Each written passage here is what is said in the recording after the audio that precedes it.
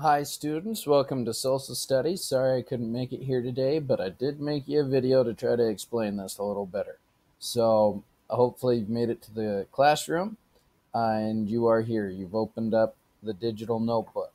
The first thing we need to do is make a copy of it. So in case you forgot how to make a copy, because we can't edit it without making a copy, as you can tell I can type all I want, nothing's going in there. You go to File, make a copy. It may or may not give you these options. Click entire presentation if it does. Then we need to add your name. So erase copy of and add whatever your name is and click OK. And it will bring up a copy of it that you can edit.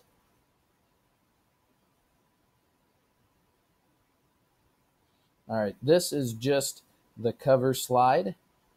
Uh, it there's three uh, three different pages that we need to complete. This first page here is um, you need to label these different landforms. So we have mountains here, mountains here, a river here, and a river here.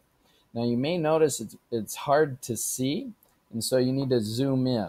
So you, I recommend using this button. You can zoom in here and make it larger and you can click zoom out here if you want it smaller again.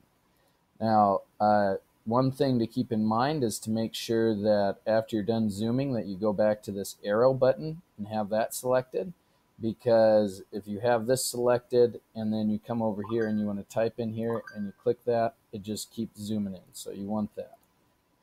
And I do recommend using the button to zoom in and out versus keyboard shortcuts because it will make all of this stuff um, bigger and smaller. So if I try to uh, zoom in here with Control plus plus, if you notice it just it warps everything way out of whack. So uh, just use that button. Make sure you're back on the arrow.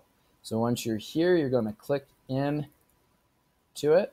You can erase my type here stuff and type in whatever you think these mountain range this mountain range is called. So if it's the Rockies, we type in Rockies. And then moving on, the next page here, you need to watch this video and answer the questions down here that follow it.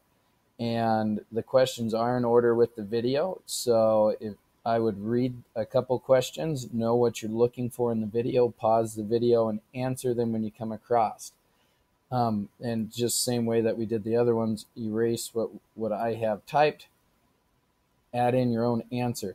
Now at some point, you're probably going to accident, or it's likely that you accidentally delete one of these text boxes, and now we're not going to be able to type, click in there and type. If that happens, there's this text box button right here that you click in and just add your own text box and add your answer back to it there. And then once you're finished with this, we move on down here. And this is a word wall. You got uh, definitions to here to vocabulary words we've been studying. There's a row here that are the definitions and a row here for pictures. So if we think a monsoon is a very large island in the ocean, we're going to click this definition and drag it into the definition column. And if we think this picture here best represents monsoon, we click there and we drag that into the picture column. And you do that for all three words. When you're finished, please turn it in on the Google Classroom. If you're unsure how to do that, just wait till I return. Uh, if you have any more questions, please direct them to your guest teacher and make sure you are kind to him or her because I really appreciate their help so I could go take care of some business today. Hope you're having a wonderful day. I miss you all terribly and we'll see you tomorrow.